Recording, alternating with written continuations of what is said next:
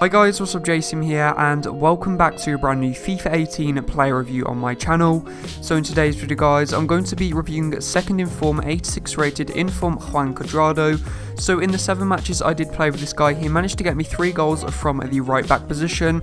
Now that doesn't really seem too good, um, just because I did actually also play him in the right mid position in game, and he also played him in the right back position because once I got into the matches, I realised that this card was just not a right back, and he plays much better in the right mid position.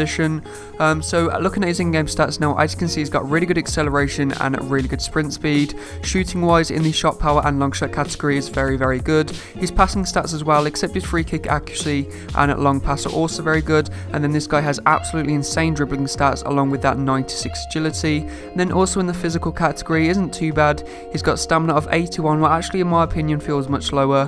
Um, but apart from that, this card is very, very good. Also guys, I'm now going to show you the team because a lot of people in the comment section below are asking what teams you know I do play these players in. So guys, now let's get into the team. So this is the team I did play second in form Cuadrado in. It's a pretty cool team. I could have probably gone with like a few higher rated players, but I just wanted to keep, you know, very basic and very cheap. So in goal we got Morante, then I have second in form Cuadrado in the right back position. Then I have Williams, who also has 4 star skill moves in the left back position. Then I have, I think it's DiMarco and um, Rugani in the two centre back positions. And then my first CDM is the team of the season Rabiot, and I actually managed to pack that guy in the guaranteed team of the season pack.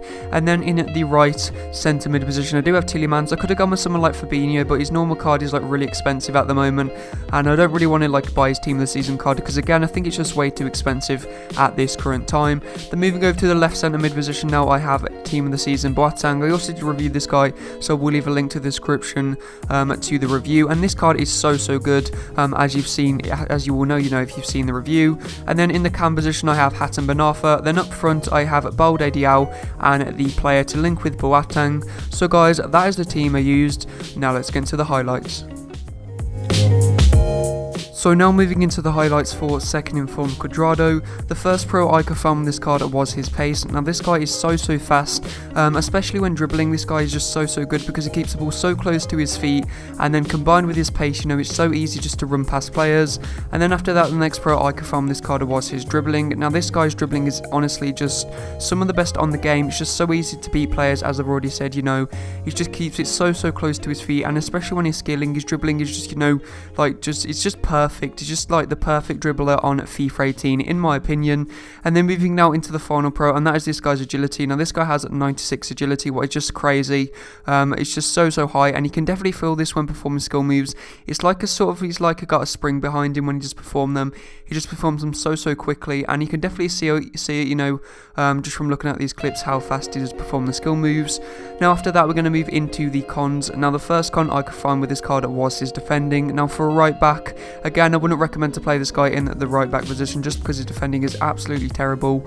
Um, and then after that, the next con I could this card was his stamina. Now, even though it does say he's got 81 stamina, it's alright, um, he seems to get like tired really quickly and I think maybe one of the reasons is just because this guy is so fast and he was always you know running around the pitch so his stamina does go down very very quickly and so but overall this card is just so so good honestly I don't think I've ever had um, as much fun making a player review as with this card because he's so so good for skilling and I would even say he's definitely in my top three maybe even my top two favourite 5 star skillers on FIFA 18 and as you'll just see from these clips this guy is just so so good for skilling.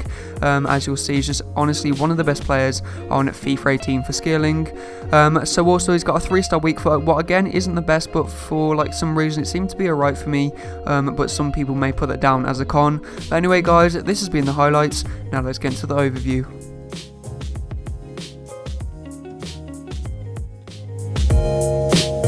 So now moving into the overview for second inform Cuadrado, the first things I'm going to rate him on is the value of coins. Now I decided to give him a 7 out of 10. Um, he's going for around 110,000 coins at the current time of recording this video.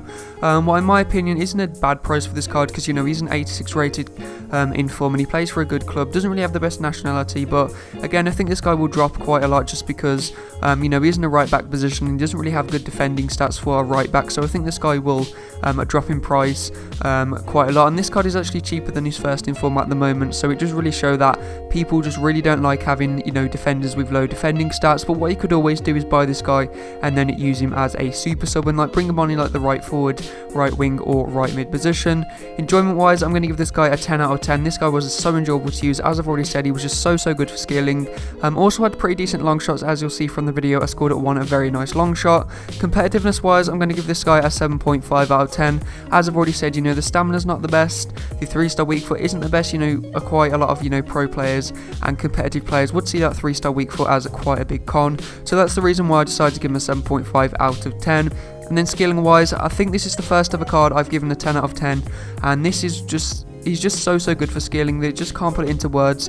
He's just so so good. Until you use this card for skilling you don't like understand how good it is. But the agility you know the pace and the dribbling you put them all together and you have a perfect skiller. And that's what Cuadrado is. If this guy gets like another inform in like a right wing or a right forward position it's going to be even better. And I just can't wait. So I'm going to give this guy an overall rating of a 9 out of 10 what is one of the highest ratings I think I've given so far. So guys if you enjoyed this player review and want to see more FIFA 18 player reviews on my channel I will have another team this season review out tomorrow tomorrow. Um, so don't forget to leave a like on the video. So yeah, guys, thanks for watching and see you next time.